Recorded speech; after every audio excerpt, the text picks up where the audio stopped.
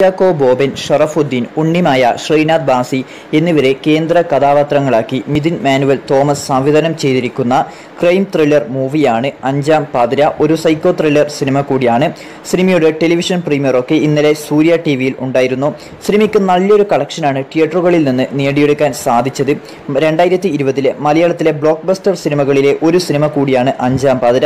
നല്ലൊരു അഭിപ്രായമാണ് ഇന്നലെ ടി വിയിൽ പ്രദർശിപ്പിച്ചപ്പോൾ എല്ലായിടത്തു നിന്നും സിനിമയ്ക്ക് നേടിയെടുക്കാൻ സാധിച്ചത്. നല്ലൊരു സ്റ്റോറിയും ഗംഭീരമായിട്ടുള്ള ബീജമുമാണ് സിനിമയുടെ ഒരു മെയിൻ ഹൈലൈറ്റ് എന്ന് പറയുന്നത്. എന്നാൽ വേറൊരു സന്തോഷ വാർത്തയാണ് ഇപ്പോൾ ലഭിക്കുന്നത്. അഞ്ചാം പാതിര ഫാൻസിനും അതുപോലെ തന്നെ ത്രില്ലർ സിനിമകൾ ഇഷ്ടപ്പെടുന്നവർക്കുമായി അഞ്ചാം പാതിരയുടെ സെക്കൻഡ് പാർട്ട് വരാൻ പോകുകയാണ് ആറാം പാതിര എന്നാണ് സൂചിപ്പിച്ചിരിക്കുന്നത്. ഇത് ഒഫീഷ്യലായി തന്നെ പുറത്തുവിട്ടിരിക്കുന്നത് ആഷിഖ് ഉസ്മാൻ എന്ന് പറയുന്ന സിനിമയുടെ നിർമ്മാതാവാണ്. ഇന്നലെ സിനിമയുടെ പ്രീമിയർ സൂര്യ ടി വിയിൽ നടന്ന സമയം നല്ലൊരു അഭിപ്രായമാണ് എല്ലായിടത്തു നിന്നും ലഭിച്ചത്.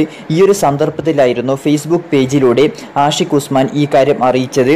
അദ്ദേഹത്തിന്റെ പോസ്റ്റ് നിങ്ങൾക്കിവിടെ കാണാൻ സാധിക്കുന്നതാണ്. Thank you so much everyone for all the messages F D F S feel ഇനി ആറാം പാതിരിയുടെ നാളുകൾ എന്നാണ് അദ്ദേഹം കുറിച്ചിരിക്കുന്നത് ഫേസ്ബുക്കിലൂടെ ഇതിലൂടെ നമുക്ക് ഒരു കാര്യം ഉറപ്പിക്കാം. അഞ്ചാം പാതിരിയുടെ സെക്കൻഡ് പാർട്ടായി ആറാം പാതിര വരുന്നു എന്നൊരു സൂചനയാണ് നമുക്ക് ഇതിന്റെ നിർമ്മാതാവ് ഇതിലൂടെ നൽകിയിരിക്കുന്നത്. കൂടുതൽ വിവരങ്ങൾ വഴിയെ തന്നെ ഇതിന്റെ സംവിധായകരും നിർമ്മാതാവും പുറത്തുവിടും എന്ന് കരുതുന്നു.